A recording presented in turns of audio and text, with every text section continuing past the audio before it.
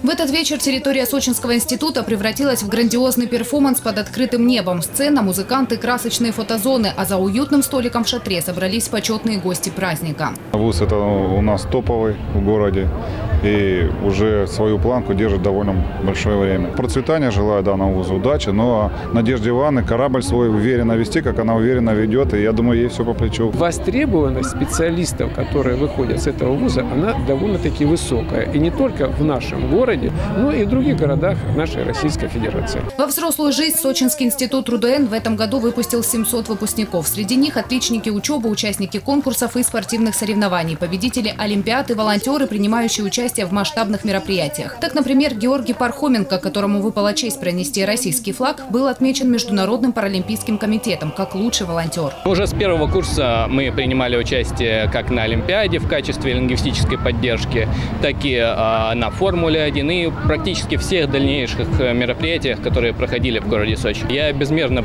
благодарен, конечно, нашим преподавателям, которые действительно э, мало того, что э, помогали нам учиться и давали знания, так еще и плечом к плечу работали с нами на этих мероприятиях. В адрес выпускников в этот вечер звучали слова напутствия от депутатов, представителей района и городской администрации. Ну а самые главные пожелания, конечно, от директора родного вуза. У каждого есть свое предназначение и определенная роль.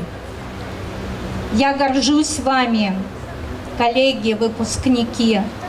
Я горжусь преподавателями, которые все сделали для того, чтобы ваш диплом был заслуженный. Дипломы о высшем и среднем профессиональном образовании выпускники получали вместе с благодарственными письмами от главы города, городского собрания Сочи, районной администрации и общественной палаты. Церемония транслировалась на канале YouTube. Татьяна Говоркова, Демид Даниловский, телекомпания ФКТ.